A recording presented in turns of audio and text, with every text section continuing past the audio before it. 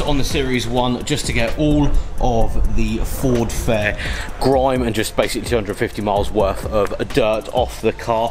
I know cleaning gods and I never like to put cleaning stuff in vlogs but here we are. We also have today a guest appearance from this. Now, if you don't know anything about this, please go on the channel and look up this van. It's something that they've been building at JW. A couple of friends have been building this for the last couple of years, and it's actually back here to get a few more things done.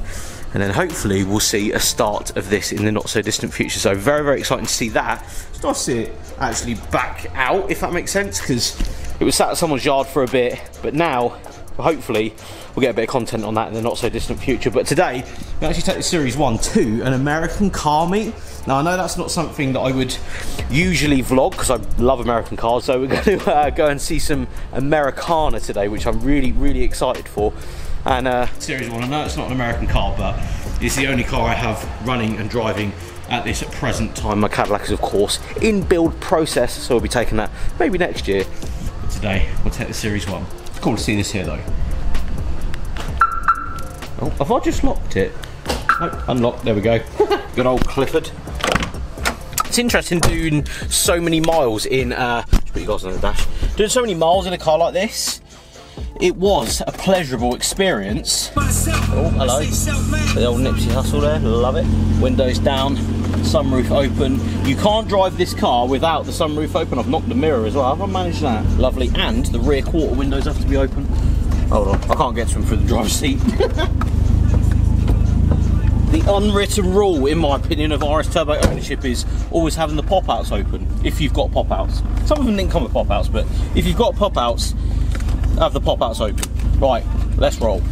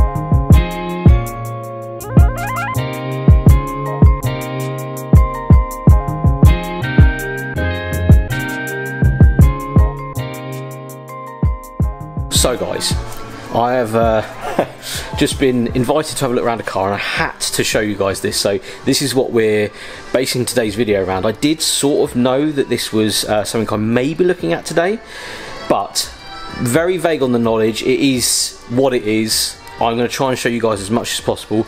It's not necessarily a barn find, but it has been set up, oh sorry, for um, a while. And if I don't capture this bit of content now, then yeah, uh, I'm not going to see it again, maybe. I'm not going to get invited to see it again. So, in the back of this random garage is, in fact, sorry about the noise if you can hear it, there is an RS 2000 believed to be uh, in this owner's possession for the last, I'd say maybe 10 to 15 years. Hasn't really seen the road much, but I want to go around it with you guys and show you as much as I can because this is so, so cool. It has a bit of uh, dust and stuff on it, as you can see.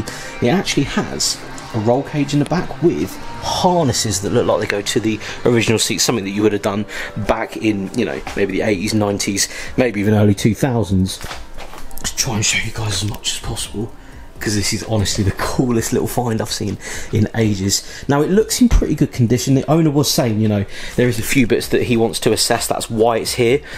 And there's loads of little bits that he wants to get right until it actually sees the road. But of course, life, family, kids, houses, you know, building houses, whatever's going to happening, obviously gets in the way sometimes. And yeah, it is just an absolutely stunning. Even got the keys with the tags on there. Just try and go around. There's so much stuff in this little garage. Yeah, genuine harnesses from God knows when. Look at them, that is so cool. Fishnet headrests as well. On what look like, I hope you guys can see this brown seats and look brown, I think they are. It looks to be, or I've been told, it is a genuine RS2000 as well, which is really, really cool. It's got the seems like it's got the right things, and I'm sure someone in the comments can tell me that I'm very wrong, but it looks like it's pretty genuine. Of course, I can't go too in depth because this is someone's car. It's their, you know, a pride and joy for for someone. This is as we come around the front, big old rally fog lights on the front of it. Look at that. That is so cool. Again, trying to get as much as I can. Again, trying to get as much as I can for you guys. It's like windscreens. There's a mini over there. Really, really cool little mini. Actually sat like loads of stuff on it. Yeah, that is just cool. Look at the wheels. Yeah, that is just the coolest thing. Sunroof as well. Again, someone in the comments can tell me if they came with sunroofs. Not too sure. My knowledge on this era of Ford stuff isn't there. You know, 80s, 90s maybe, early 2000s yet, but haven't had too many dealings with these, which is a bit of a shame. It's even got some toggle switches in the centre, which is pretty cool. Custom there, plaque, clock. What's that on there? That's cool. Ford gear knob. Yeah, what a lovely thing. It's obviously been, well, whether it's been raced or rallied or not, it's another matter. I'm not too sure. Again, the owner, this owner doesn't know either. But it's got a cage and everything, as I've shown. So it might have been maybe a competition car at some point. I'm not even sure. I don't actually know if that's ever been, you know, enjoyed in that sense. Yeah, pretty cool. I won't go under the car because obviously there is a reason why this car is sat here. Um, I believe it, it still have the original Pinto engine in it as well. Of course, we won't open it up. It's not my car. I won't get too in depth with it. And yes, if anyone wants to know, I have asked if it's for sale. Uh, it's not for sale, unfortunately, which is a bit of a shame. But what a hell of a thing. What a thing to find randomly in the back of a garage. Also, you guys may have seen and you may have noticed there is a car above it fully torn down ready to be painted I think he was saying or sandblasted. XR3 very very cool. We'll show you guys a bit of this. You pretty much see everything as we are here but pretty torn down in a sense as to a rolling chassis ready for engine work to be done. Just try and get past this because oh, yeah look at this. Engines out of it. Yeah that's really cool quite a lot of parts. It says he's got all of the parts still for this as well, but it's at this stage because they were putting what looks to be floor pans and stuff in it, which they've got to a point. And he said, you know what, I want to sandblast the whole car, make it mint.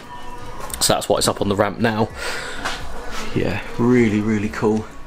Genuine XR3.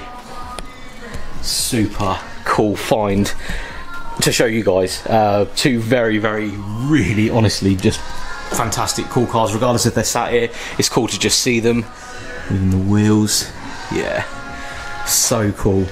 And hopefully, I was just talking to the owner.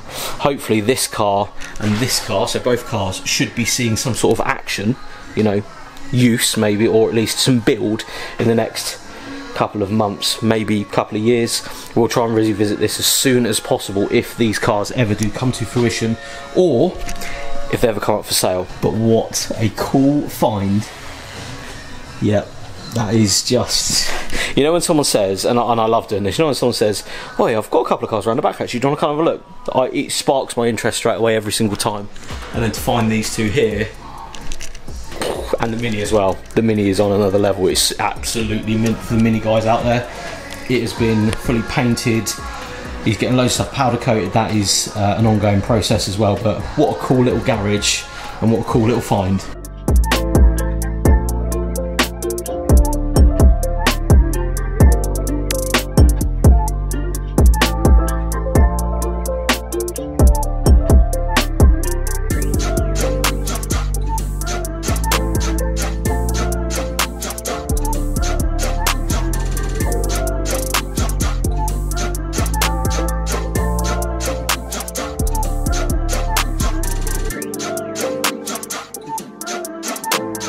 just like that, we're back home. thank you so much to the owner for letting us look around that RS2000 today. Insane car. Uh, the XR3, of course, above it is really, really cool.